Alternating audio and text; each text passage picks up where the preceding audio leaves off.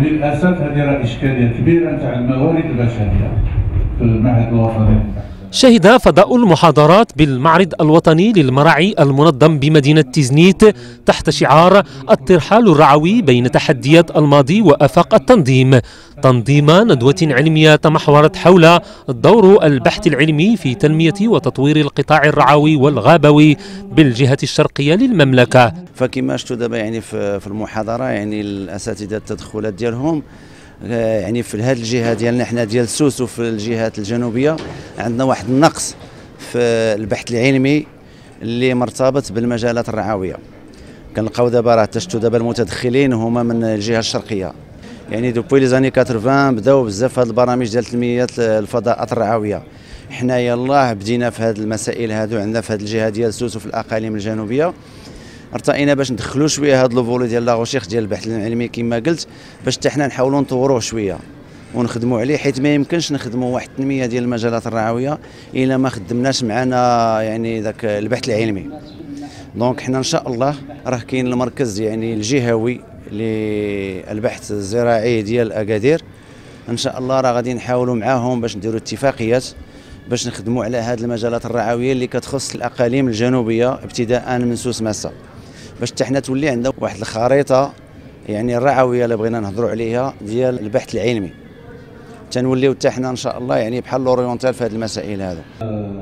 التقنية الجديدة لرصد وتتبع المراعي بالمغرب هي عنوان المداخلة الأولى التي افتتحت بها أشغال هذه الندوة. المداخلة كانت آه، مقسمة على ثلاثة المراحل.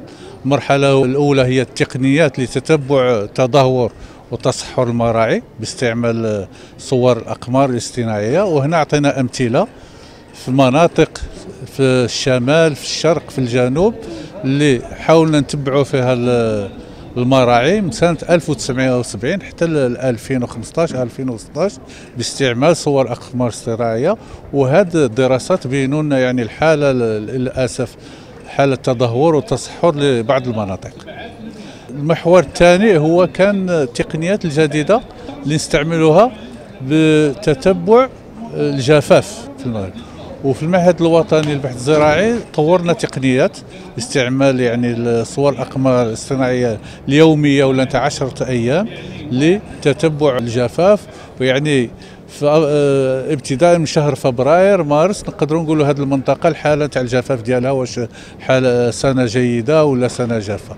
والمحور الثالث هو تتبع الإنتاج ولا الانتاجيه نتاع المراعي باستعمال صور الاقمار الاصطناعيه وكاين أنواع كثيرة تاع أقمار اصطناعية نستعملوها. والأهمية نتاع هذا هو نخرجوا في شهر مارس خرائط نتاع المراعي في المغرب ولكن خرائط الإنتاج تاع المراعي والحالة نتاع المراعي. واش الحاله جيدة ولا متدهورة؟ وفين كاين المراعي اللي كاينة فيها الانتاجيه كثيرة وفين هي المراعي اللي الانتاجيه قليلة وخصنا نخليها ترتاح؟ ونظرا للتحول الخطير الذي يعرفه المجال الرعوي بسبب غياب التنظيم وسوء التدبير وتأثر هذا الأخير بالتغيرات المناخية تم عرض مداخلة حول الدراسات الديناميكية للمراعي بالجهة الشرقية بالإضافة إلى تقديم تقنيات حول استصلاح قطاع المراعي. المداخلة كانت حول واحد المجموعة ديال الدراسات اللي كتعتمد على هذه النظم آه، المعلومات الجغرافية واستشعار عن بعد من أجل معرفة الديناميكية ديال المراعي آه، والتركيبات النباتية كيفاش كتحول كانت خصوصا بالضبط منذ 1970 آه، إلى 1988 إلى السنوات الأخيرة.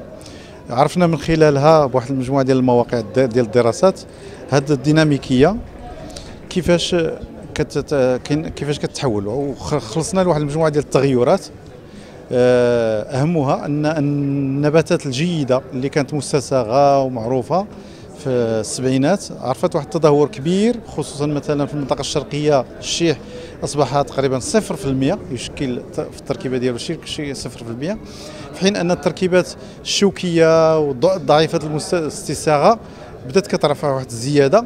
آه، كذلك نسب الحرث والأراضي الجرداء واحد الشكل أكبر.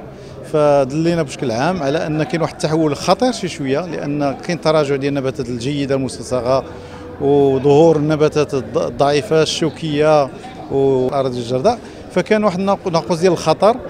من قبيل توصيات لإعادة استزراع هذه المناطق المتدهورة واللي قابله للتحسين آه، من خلال جوج ديال النقاط أساسية. الأولى آه، ترشيد المتدخلين في مجموعة ديال التقنيات كالمحميات يعني نوع من الاستراحة ديال الأراضي. وقد نتزوجوا معها مسألة الشجيرات العلفية أو استزراع بعض النباتات المحلية لي زيسبيس اوتوكتون آه، كذلك آه، بعض الخطوط وخدمه ديال الأرض من أجل المحافظة على المياه والتربة.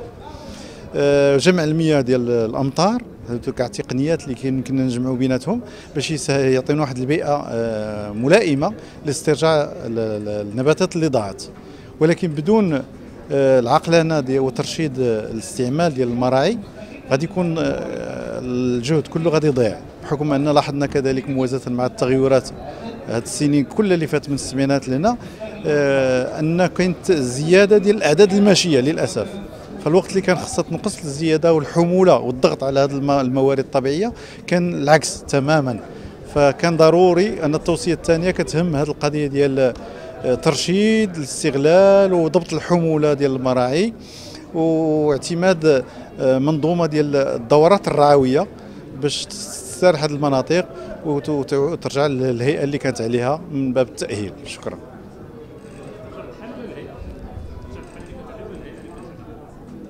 بحال بحال كنشوف. اذا كانت هذه المجموعة ديال التوصيات من باب إعادة المجال آه، ديال المراعي إلى الحالة اللي كانت عليها فيما سبق. دور البحث العلمي الزراعي في إكثار واستزراع النباتات الرعوية المحلية بالمناطق الصحراوية وشبه الصحراوية بالجهة الشرقية. هو عنوان المداخلة الأخيرة التي عرفتها أشغال هذه الندوة. من بين المشاكل المعوقات ديال الاستصلاح واستزراع المراعي هو أننا كنعتمدوا آه، بصفة دائمة على النباتات الداخلة مثل القطف اللي هو نبات أسترالي ونبات الصبار. فاحنا كنحاولوا آه، نقوموا بواحد آه، مجموعة ديال الدراسات اللي كتهم الجرد ديال التنوع البيولوجي اللي كاين في المناطق الصحراوية والشبه الصحراوية من أجل آه، إيجاد نباتات بديلة لاستصلاح المراعي يعني باستعمال النباتات المحلية. ويعني ما يمكنش حنا عندنا في المغرب أكثر من 4000 نوع ديال النبات وما زلنا كنعتمدوا على النباتات الداخلة مثل الصبار والقطف. لهذا فاحنا قمنا بمجموعة من الدراسات اللي كتهم النباتات المحلية آه، اللي كتهم بشكل أساسي الإكتار ديالها ودراسة السلوك ديالها. ومن بعد الإكتار ودراسات ديال السلوك ديالها كنحاولوا نقوموا باستزراع هذه النباتات في المناطق الصحراوية والشبه الصحراوية باستعمال آليات يعني وتقنيات كتمكن هذا النبات من النمو والتكاثر في هذه البيئات. من بين هذه الطرق اللي كنستعملوا هي آه، تقنيات حصاد المياه اللي اعطت نتائج جيدة. وجيدة جدا في استصلاح المراعي بالمناطق الشبه الصحراوية أو مثلا باستعمال الخطوط الكونتورية المرفوقة بهلال ولا بشبه منحرف. يعني هناك عدة طرق آه، اللي كنستعملوها من أجل إنجاح عملية استزراع هذه النباتات المحلية في المناطق الصحراوية والشبه آه، الصحراوية.